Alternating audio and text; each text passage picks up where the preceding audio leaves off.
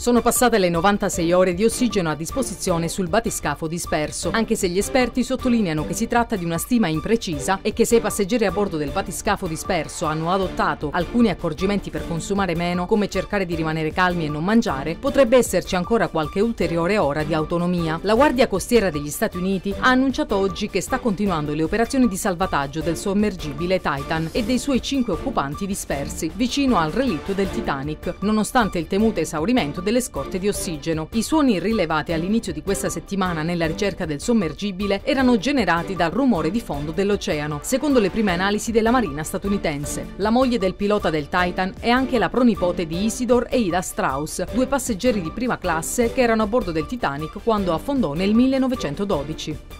Il nucleo di polizia economico-finanziaria della Guardia di Finanza di Milano, in un'inchiesta del PM Paolo Storari, ha eseguito un sequestro preventivo d'urgenza per quasi 48 milioni di euro nei confronti di Esselunga, in un'indagine con al centro una presunta somministrazione illecita di manodopera. È stata accertata, secondo l'accusa, una complessa frode fiscale. La condotta di Esselunga, di carattere fraudolento, dura da numerosi anni e ha comportato non solo il sistemico sfruttamento dei lavoratori, ma anche ingentissimi danni all'erario. Lo scrive il PM di Milano Paolo Storari nel decreto di sequestro. Sono indagati l'ex direttore finanziario del colosso dei supermercati Stefano Ciolli e Albino Rocca, attuale direttore finanziario, ed Esselunga per la responsabilità amministrativa degli enti la Corte europea dei diritti umani ha dichiarato inammissibili una serie di ricorsi contro l'Italia di coppie dello stesso sesso che chiedevano di condannare il paese perché non permette di trascrivere all'anagrafe gli atti di nascita legalmente riconosciuti all'estero per bambini nati usando la maternità surrogata. La stessa decisione è stata presa anche per il ricorso di una coppia eterosessuale. La Corte in una nota ha spiegato le ragioni della sua decisione. Il desiderio delle coppie di veder riconosciuto un legame tra i bambini e i loro genitori intenzionali non si è scontrato con un'impossibilità generale e assoluta assoluta dal momento che avevano a disposizione l'opzione dell'adozione e non l'avevano utilizzata.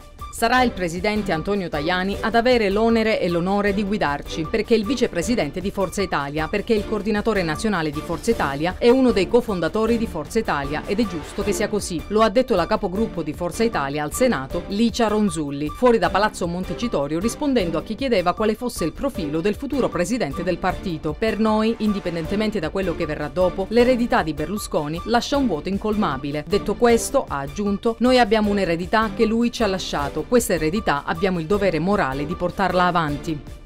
Lo smart working nella pubblica amministrazione è prorogato dal 30 giugno al 30 settembre per i lavoratori fragili. Lo prevede un emendamento della relatrice al decreto lavoro Paola Mancini di Fratelli d'Italia, approvato dall'Aula del Senato. Con i lavori dell'Aula è stato anche potenziato di 5 milioni il fondo per i familiari di vittime di infortuni mortali sul lavoro e sono stati trovati fondi per ulteriori 7 milioni per la scala di equivalenza, per l'assegno di inclusione, garantendo così più disponibilità per i fragili, spiega la relatrice che si dice ampiamente soddisfatta.